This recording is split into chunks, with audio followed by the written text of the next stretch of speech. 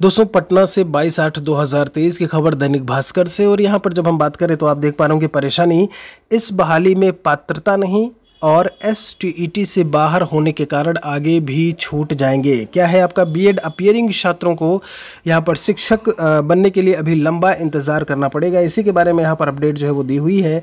प्रदेश के BEd appearing छात्रों को शिक्षक बनने के लिए अभी एक लंबा इंतज़ार करना पड़ सकता है। ऐसे छात्र छात्राएँ ना तो इस बार शिक्षक बहाली में भाग ले पाएँगे, ना ही अगली वैकेंसी में आवेदन कर सकेंगे। एस्टेट पास नहीं होने के कारण वो बीपीएससी के वन लाख शिक्षक भर्ती परीक्षा के लिए पात्र नहीं थे।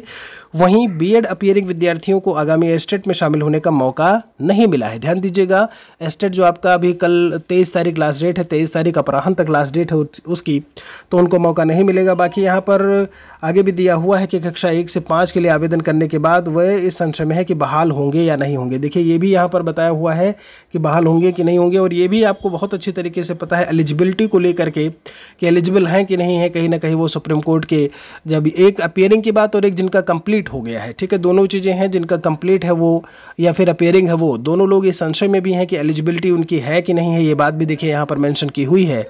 तो ये थी अपडेट आज की, जो है कोई अगर आपका और सवाल यहाँ से बनता है तो ज़रूर पूछेगा देखिए, यहाँ पर कुछ और बातें हैं कि रिज़ल्ट लेट होने से नहीं कर पा रहे हैं विद्यार्थी विद्यार्थी आवेदन।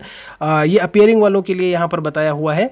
और STET में मौका पर सी टेट में मौका दिया है पर STET में नहीं मिला है मौका।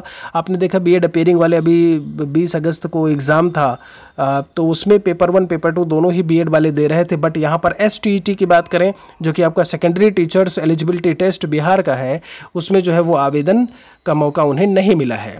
बाकी आ, कोई और सवाल है तो आप ज़रूर मेंशन करिएगा। यहाँ पर डॉक्टर ध्रुव कुमार जी का एक स्टेटमेंट है विभागाध्यक्ष शिक्षा विभाग। ये भी इन्होंने यहाँ पर जो है वो बात बताई हुई है कि अपेयरिंग इस बार जो है वैकेंसी में शामिल नहीं हो सकेंगे क्योंकि वो एलिजिबिलिटी एलिजिबल ऐसे में नहीं है ठीक है? बाकी कोई और सवाल है तो मैंशन करिए। शुक्रिया आप सभी का। मिलते एक और वीडियो में।